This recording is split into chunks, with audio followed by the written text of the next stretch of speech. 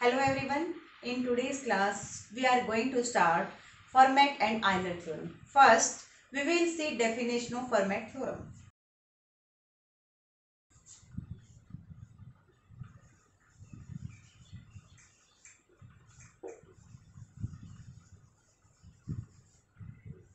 If A and P are two numbers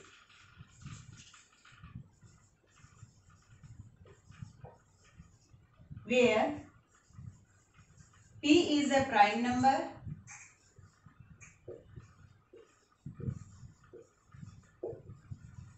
prime number and GCD of A and P is 1 then a raised to the power p minus 1 is congruent to 1 modulo p.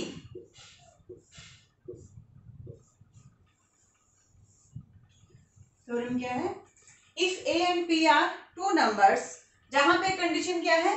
Where P is a prime number A जो number है, ये आपका क्या है? Any number prime और composite कि A आपका prime भी हो सकता है और कंपोजिट नंबर भी हो सकता है।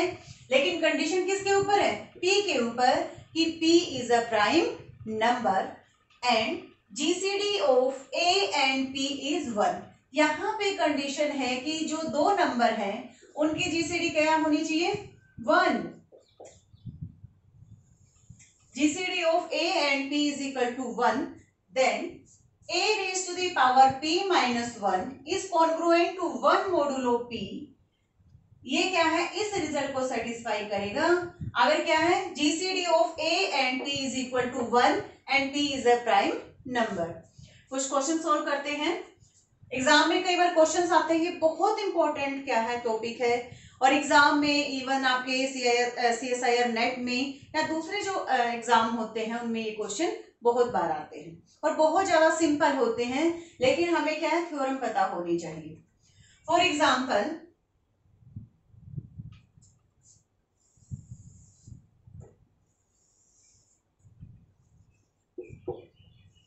what is the remainder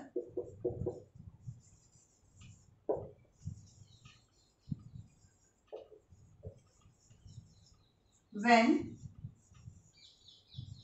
7 raised to the power 10 divided by by 11 ठीक है कि अगर seven raise to the power ten को इलेवन डिवाइड करता है तो रिमाइंडर क्या होगा? तो using Fermat theorem first we will check GCD of seven and eleven ठीक है? यहाँ पे टू नंबर्स हैं A and P value of A is seven and value of P is eleven check GCD of seven and eleven GCD of 7 and 11 is 1. Then we can apply Fermat theorem. क्या है Fermat theorem? A raised to the power p minus 1. A is the 7. 7 raised to the power p minus 1. p is 11. 11 minus 1 is congruent 1 modulo p. p is 11. ठीक है 7 raised to the power 10 is congruent to one modulo eleven question हमारा solve हो गया। तो answer क्या आ गया? One कि जब हम क्या है seven raise to the power ten को इलेवन से डिवाइड करते हैं तो आंसर क्या आएगा?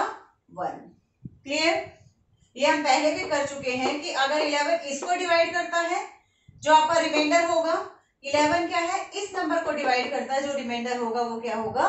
Same by using definition of congruence clear तो यहाँ से क्या है कि seven raise to the power ten को जब इलेवन डिवाइड करता है आंसर इज़ वन यहाँ से हमें ध्यान में रखना है कि जो भी नंबर है, उसकी पावर क्या है?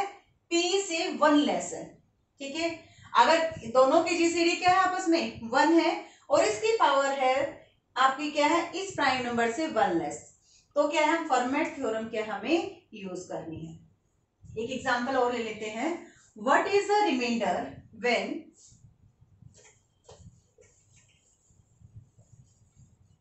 seven raised to the power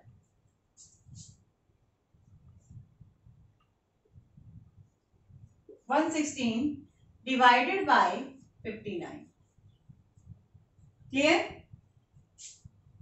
Here value of A is seven and value of P is 59 where p कैसा है prime number then we can use Fermat theorem and we know that GCD of a and p 7 and 59 is 1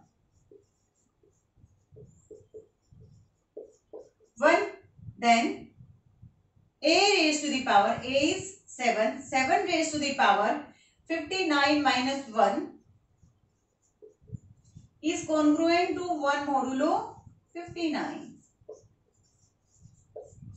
here 7 raised to the power 58 is congruent to 1 modulo 59 हमें क्या find out करना है? 116 और यहाँ पे हमने क्या फाइंड आउट किया? Seven raise to the power fifty eight अगर हमें क्या है, इसकी पावर को टू से मल्टीप्लाई करें तो आंसर क्या आ जाएगा? सेम होगा। Seven raise to the power fifty eight is congruent to one square भी कर सकते हैं। Modulo fifty nine modulo fifty nine seven raise to the power one sixteen is congruent to one modulo fifty nine बहुत simple है इस type के questions find out करना। लेकिन हमें क्या है? फर्मेट थ्योरम की नॉलेज होनी चाहिए। Second we will discuss Euler theorem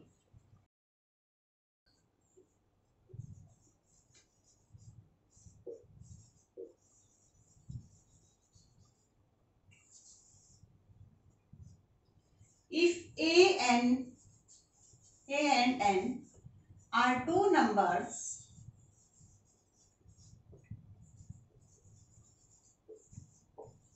numbers and GCD of a and n is equal to 1 then a raised to the power 5n is congruent to 1 modulo n Fermat theorem में क्या condition थी where N is a prime number यहाँ पे हमने क्या लिया था modulo P लेकिन यहाँ पर कोई कंडीशन नहीं है। एन हमारा क्या है? कंपोजिट पे हो सकता है और प्राइम नंबर भी हो सकता है।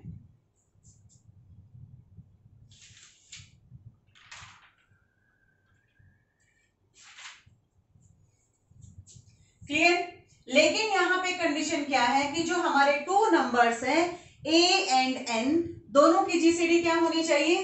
वन अगर दोनों की जीसीडी वन है तो हम क्या है? आइलर थ्योरम यूज़ कर सकते हैं where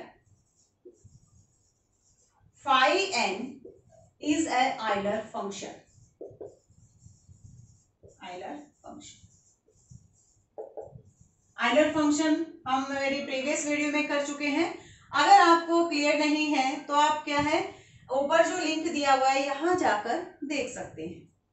क्लियर नेक्स्ट हम क्वेश्चंस कर लेते हैं। इसमें भी एग्ज़ाम में बहुत सारे क्वेश्चन आते हैं कि what is the last two digit ठीक है?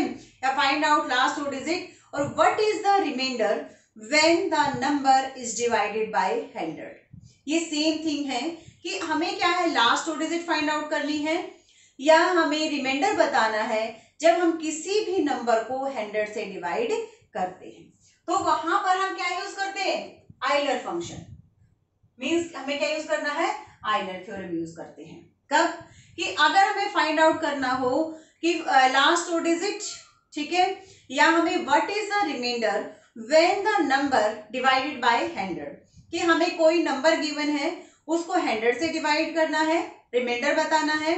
या हमें क्या है लास्ट टू डिजिट बतानी है तो हमें क्या यूज़ करनी है Euler theorem for example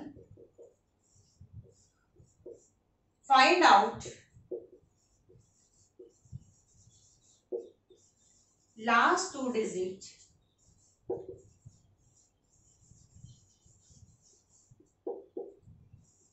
of 3 raised to the power 82 और ये सेम क्वेश्चंस किस फॉर्म में हो सकता है what is the remainder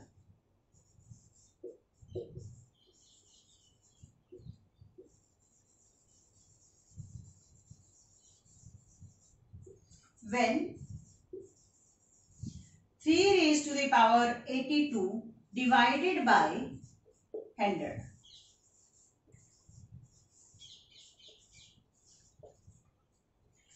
दोनों क्वेश्चंस में कोई भी डिफरेंस नहीं है। दोनों क्वेश्चंस क्या है?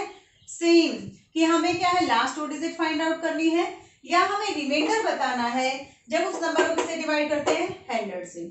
ठीक है? दोनों क्या है आपके सेम तो हमें ऐसे क्वेश्चंस में कि लास्ट टू डिजिट किसी की बतानी है, या हमें रिमाइंडर जब हम हंड्रेड से डिवाइड करते हैं तो हमें कौन सी थ्योरम यूज़ करनी है? आयलर थ्योरम ठीक है? यूज़ करते हैं three raise to the power question क्या है? फ़र्स्ट हमें चेक करना है GCD of a and n three and hundred की क्या होती है? वन ठीक है? GCD of three and hundred is equal to one then we can use Euler theorem ये क्या हो जाएगा? A raise to the power five n n we is hundred hundred is congruent to one modulo hundred अगर last two digit इतना question है तो भी हम सेम थिंग करेंगे, ठीक है? Three raise to the power five n is congruent to one modulo n where n क्या आपका? हंड्रेड हम पहले क्या है? आइलर फ़ंक्शन जब हमने फाइंड आउट किया तो हम कैसे कर सकते हैं? अगर आपका है फाइव हंड्रेड ठीक है? तो वहाँ से हमने क्या किया था? N into ten raise to the power n minus one यहाँ पे एन क्या है आपका? Ten raise to the power two means n क्या है? Two two into ten raise to the power two minus one, यहाँ पे क्या आ जाएगा?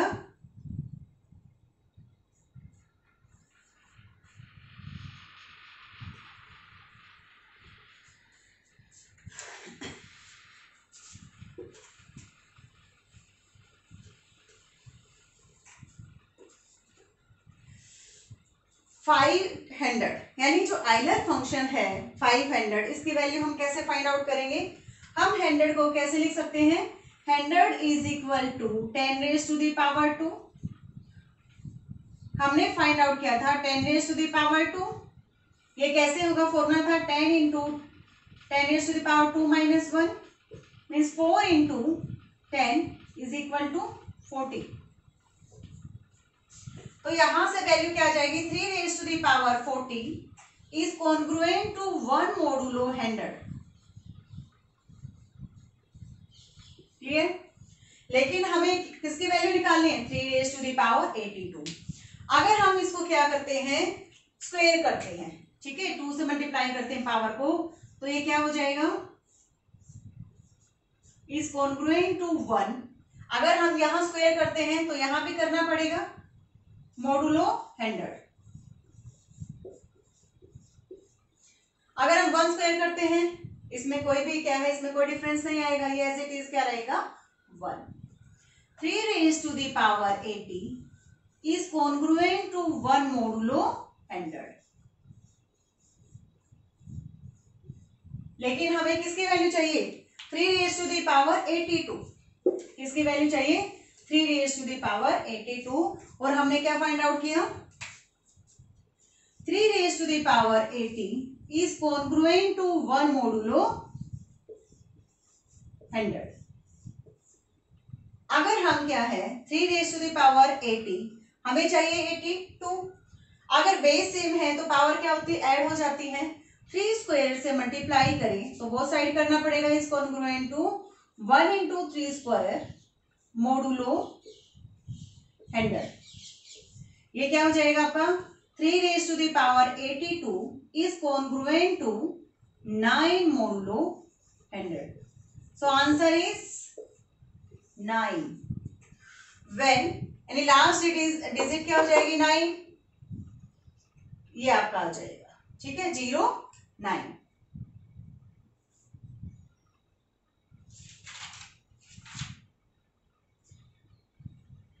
यहाँ पे लास्ट टू डिजिट क्या जाएगी? क्योंकि ये क्या है नाइन तो ये हम ज़ीरो ऐड कर सकते हैं। तो last two digit is zero nine या रिमाइंडर क्या हो जाएगा आपका? Nine when the number three raise to the power eighty two divided by hundred clear है ये? एक क्वेश्चन और, एक क्वेश्चन और कर लेते हैं।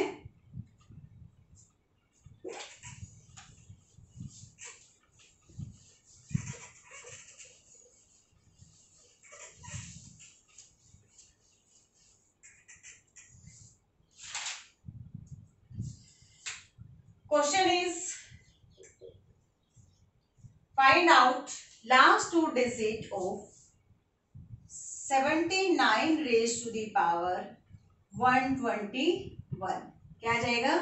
Seven raise seventy nine raise to the power one twenty one हमें क्या फाइंड आउट करनी है? Last two digit